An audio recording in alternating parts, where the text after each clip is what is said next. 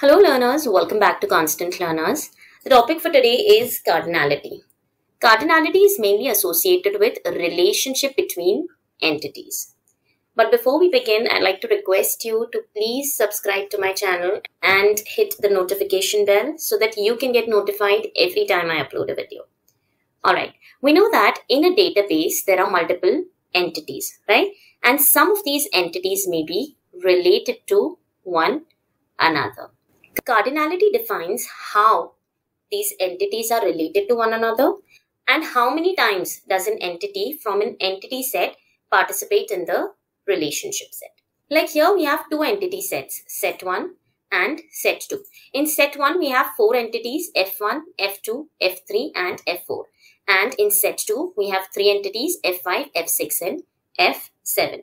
Now F1, this entity is connected to F6 and F7, thus establishing a one to many relationship, right?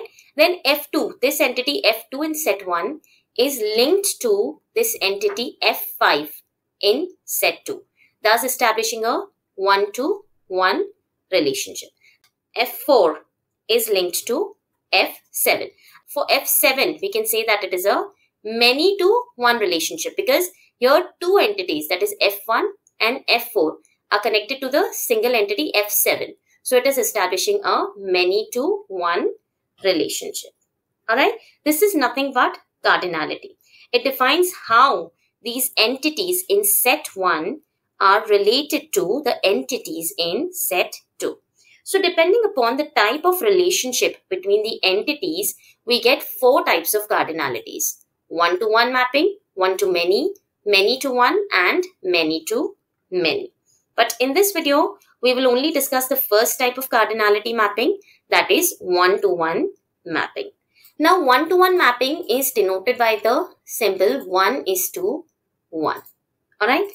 Now in the data models video, we've already discussed entity relationship model and relational model and how they complement each other right? And to understand cardinality also, we are going to use both these models to understand how the entities can be related to one another. All right. Here we have the ER model. This is the ER model. In the ER model, we have two entities, students and essays. The students entity has attributes student ID, student name and student department. And essays entity has the attributes essay ID, essay topic and subject. Now, how are these entities related to one another? The student entity and the essays entity. Every student has to write an essay. Alright, but the catch here is that every student will write one essay and the essay topic has to be unique. Alright, that is no two students can share the same essay topic. Only then one is to one relationship will be established. That is, one student is corresponding to or is writing one essay and the essay topic cannot be repeated. Let's understand how this one is to one relationship is established using relational model. Here we have two tables, the students table and the essays table. The attributes are same student ID, name and department, essay ID, topic and subject.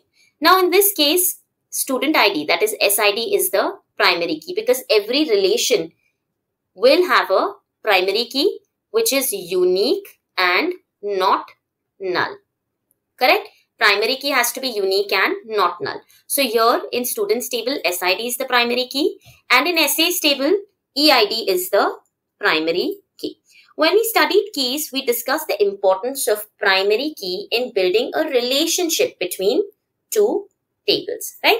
Now here we have to build the relationship between the students and the essays table because every student has to write one essay and the relationship has to be a one is to one type of relationship. So here also we are going to use these two primary keys that is SID and EID to build the relationship between these two entities, right? Since primary key is very important in building a relationship between two entities, we are using both these primary keys that is SID from the students table and EID from the essays table to build a new relationship table.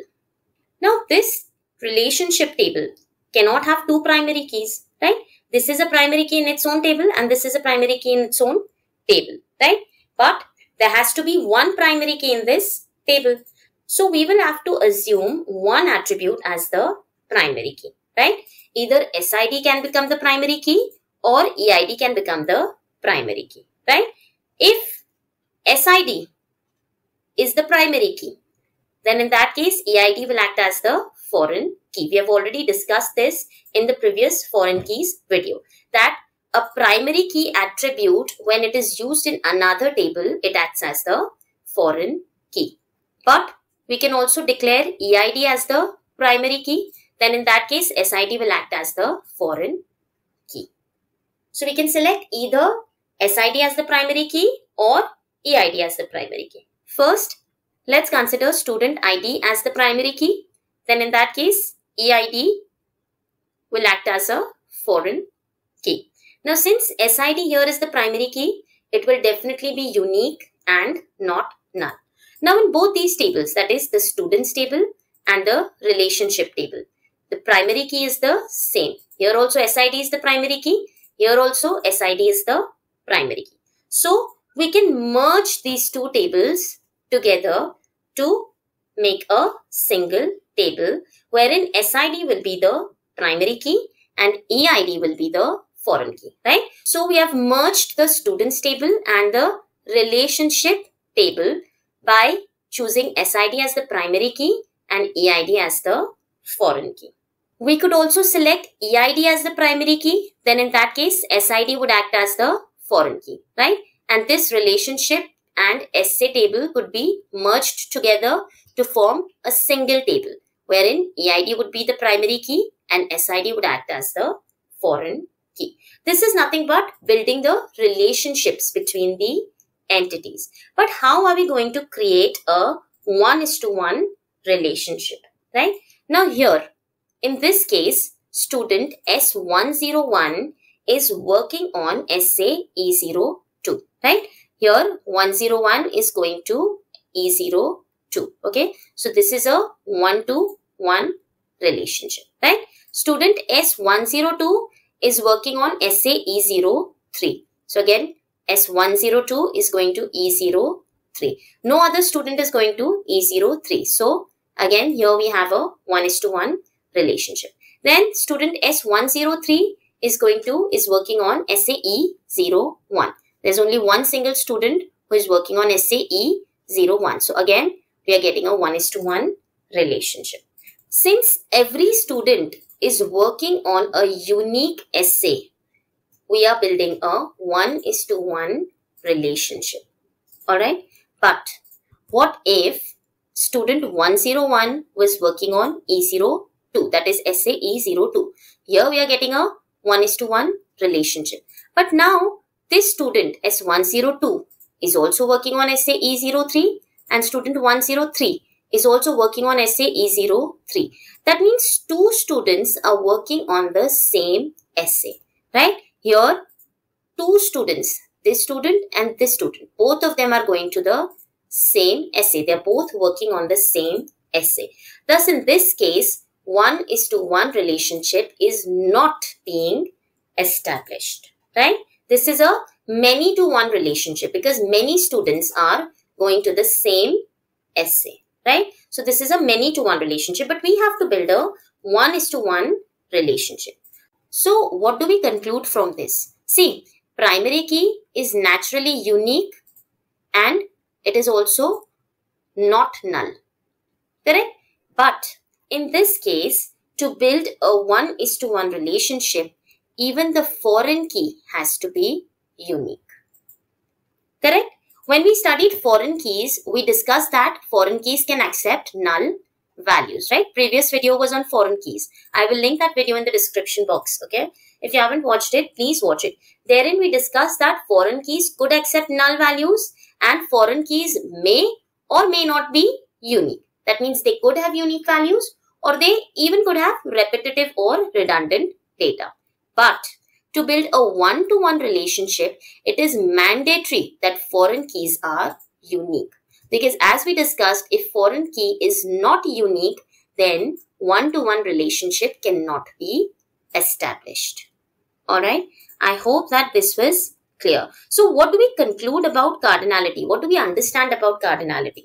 That cardinality is actually determining the uniqueness of an attribute of the columns, right? As keys play an important role in linking or relating the entities, right? So here, when the foreign key is unique, only then a one is to one relationship is being established, right?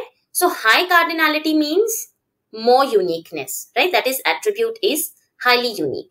And low cardinality explains that there is a lot of redundant or repetitive data. Alright, I hope that this was clear. That is what is cardinality and how a one is to one relationship can be established in both ER model and the relational model. Right? That was all for this video. In the next video, we will be discussing one-to-many relationship.